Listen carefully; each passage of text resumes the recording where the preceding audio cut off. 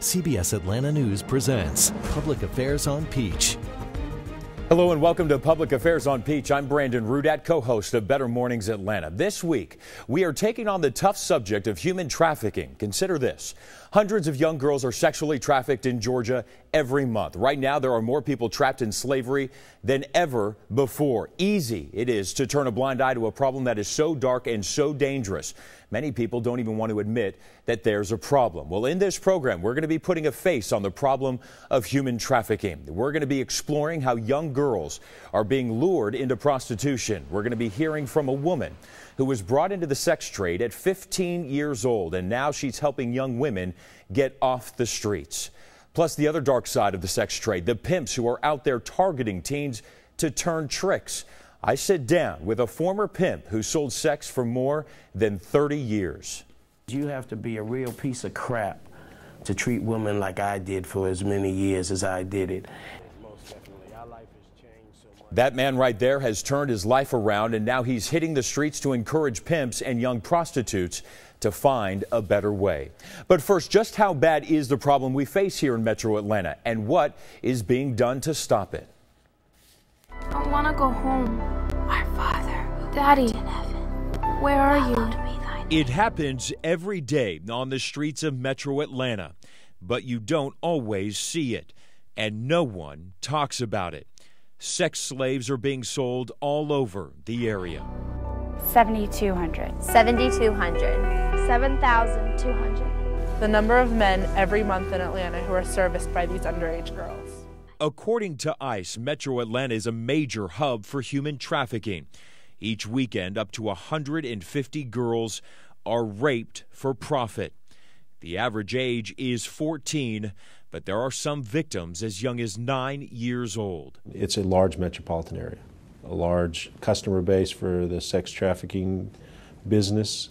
Across the globe, 12 million people a year are pimped out for money. Earlier this year, Governor Nathan Deal signed a bill into law that cracks down on penalties for sex trafficking.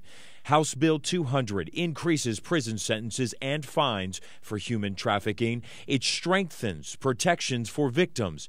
It also provides training guidelines for law enforcement on how to relate to sex trafficking victims.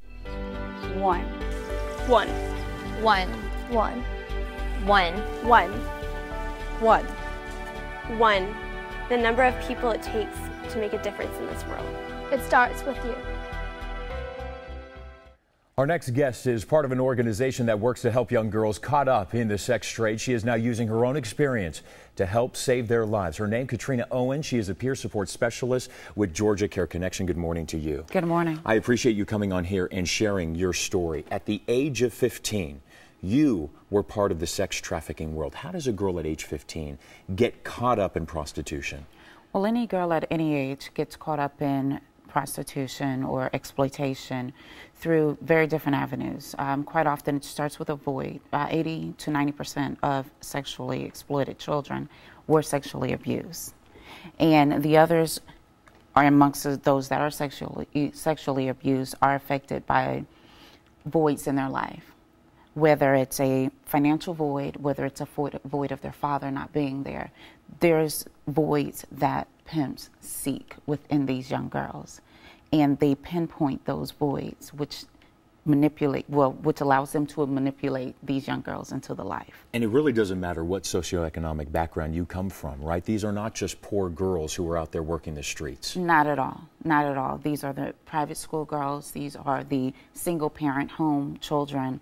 It crosses every financial line, racial line imaginable a girl who may be watching, a parent who may be watching, says, My daughter may be out there, caught up in this world. How hard is it for a girl to break free of a pimp and get help? It is unimaginably hard. There is a trauma bond that exists when involved with a pimp.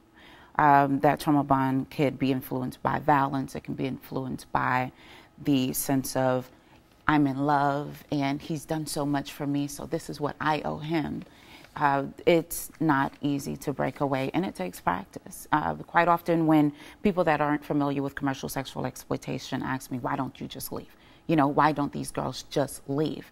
And the best thing that I could give them is it's very similar to a domestic violence relationship where the wife just won't leave her husband. And even though she's getting beaten day after day or week after week because of that emotional bond and whatever other connections there are, it's not so easy to leave. Your advice to a young girl who may be watching, who may be thinking about running away and getting involved in this? Talk. Talk and talk till someone listens. Be, one of the main things that I hear from our victims is that no one listens. You know, before I ran, I said something, but no one listened. You know, I tried to speak to the social worker, but no one listened. And so many people from so many parts of the community, whether it's law enforcement, social um, social workers in school, DFACS, as well as other partners in the community, are beginning to listen. Now that they are aware that it is an issue, they're beginning to listen, and they're being properly trained to pick up on those signs and those risk factors for the youth that are affected by sexual exploitation. Katrina Owens, thanks for joining us this morning and sharing your part of the story. We Thank appreciate so that. And coming up next year on Peach Tree, Public Affairs on Peach, what the state now doing to target those involved with human trafficking. You're going to meet a senator who has worked for years raising awareness on that issue. Plus this the drugs, the pimping, the money, the cars, that was all to make myself feel better about who I, how bad I really felt about myself. He became a pimp when he was a teenager, but he beat the streets, and now he's helping others turn their lives around.